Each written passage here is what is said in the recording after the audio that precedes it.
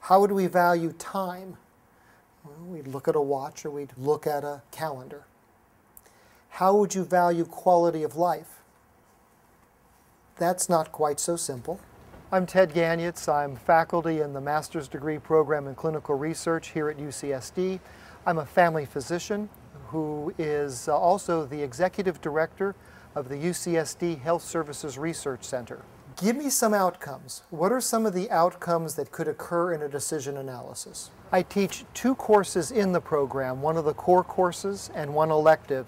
The core course is an overview to health services research, qualitative research costs, quality of life, topics that aren't usually covered in the other courses. If this is a risky situation, I might call that 50% chance of winning $100 be only worth $30. I have a course on decision analysis, which is an elective for those who need more statistical credit. And then I also give one course on quality and outcomes. This curve is situation dependent as well as individual dependent. I could measure it on each of you. It'd be different for each of you. And then for any one of you, I could give you different scenarios and it would change by scenario. We have students who are pre-med or pre-vet. We have students who already have a bachelor's degree and are interested in a master's degree. Some students have been working in industry, want to promote their career. Some students are already faculty, have done work in the clinical area, and they're interested in doing more research.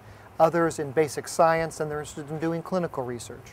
There are networking opportunities at multiple levels. The students come from a variety of backgrounds, and so you have this opportunity to automatically be making connections. So here we have Peter.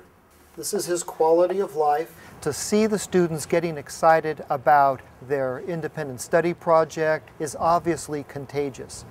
Uh, I certainly have an interest in clinical and translational research and I enjoy uh, being able to uh, work with students on their project or to be able to impart some of my enthusiasm for those topics. You'll frequently see a cost effectiveness analysis that looks at the dollars per single digit changed on the Dartmouth pain scale. Well, that doesn't make any sense because to go from 10 to 9 may not be the same as going from two to one. The career opportunities for the graduates are almost as diverse as the students coming in.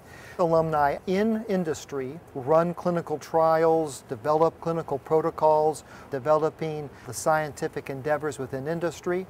Students who have their MD or go on to get their MD have a career devoted in part to clinical research. Figure out that number from the data in Table 1. The faculty really do care. One of the things I enjoy most about the program is contact that I have with alumni after they've graduated.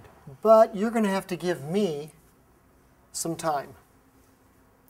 You're going to trade time, time trade-off. All in all, this is just a fantastic program. You get to be in San Diego. Most of the students continue to work while they're here, and the faculty have a tremendous breadth and a tremendous amount of interests and the field is growing. So I think it's just a win-win-win.